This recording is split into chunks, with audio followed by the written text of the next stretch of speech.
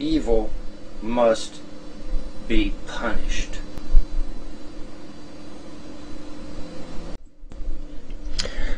Alrighty. I've, I've had a lot of requests. Some of them even in the comment section of some of my vids. Come on, Vaughn. Uh, tell us, you know, tell us a juicy story. You know, okay. Um, we know you've got some juicy stories out there to tell. All right, all right, all right, fine. You know, I'll tell you a story. I'll tell you. I'll tell you one of the more stranger ones. Um, there was some guy posted um, whose name escapes me at the moment, Orion, some something or other. He wanted to hear one of my more macabre stories. So, okay, fine. I'll tell you. I'll tell you one of my more stranger ones. Um, I was in a major city, working on another project. Let's call it that, a project.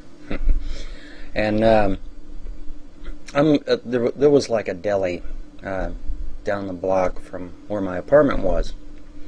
So I thought, well, it's starting to get dark. I'll, I'll hit the deli, get me a turkey sandwich, and uh, everything seemed kind of quiet that evening. So you know, I'll take a break. So I'm walking down the sidewalk to to the deli, and this chick, you know, she comes out. She says, "I know who you are, man. I need some help. I need some real, real help." And I could see that she wasn't bullshitting, so I'm like, okay, fine. You know, what what's going on? She says, there's a dude with knives in the house, man. He's trying to kill my ass.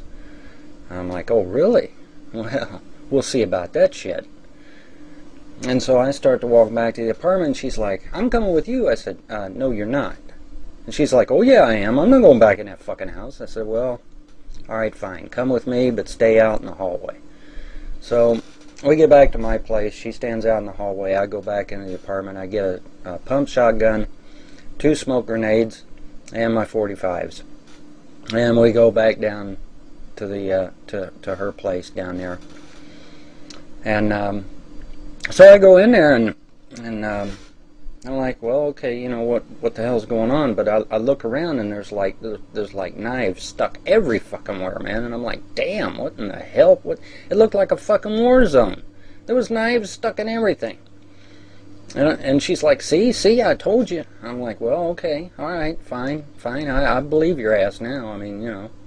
So uh, I'm like, okay, well, where's this fucking prick at? And she's like, well, he's probably in the kitchen. I'm like, okay, okay, that that works.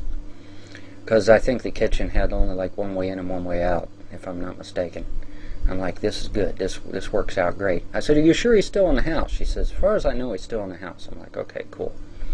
So I start to open up the fucking kitchen door, and you know, I get this, I get this damn knife whizzing past my fucking ear, and I'm like, oh damn, this guy's fucking good. Okay, this guy's fucking good, man.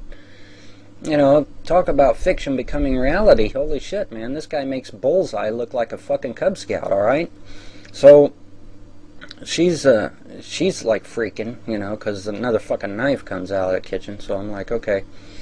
So, uh, you know, I, I stopped and I asked her, I said, uh, where the fuck's all these knives coming from? And she's like, I got a hundred piece set of knives for, for, for Christmas. I'm like, now you fucking tell me, lady. Jesus Christ. A hundred fucking knives? So, anyway, so I, I try to fucking pry open the door again, man.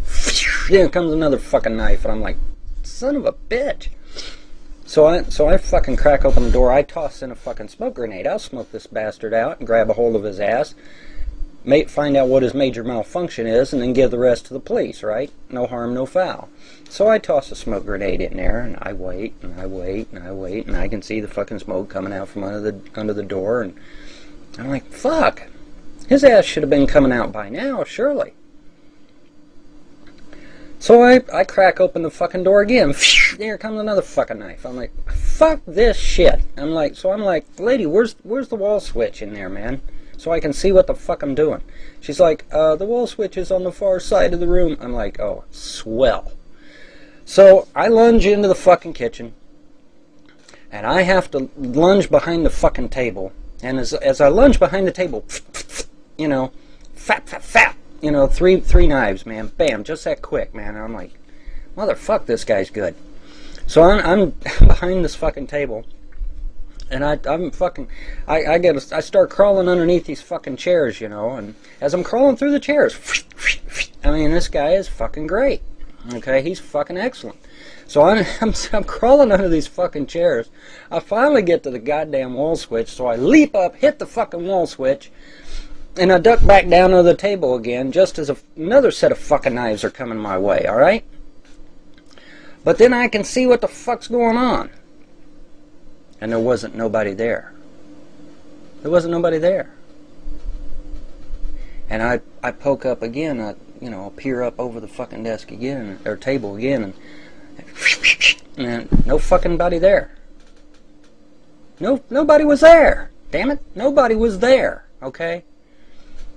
So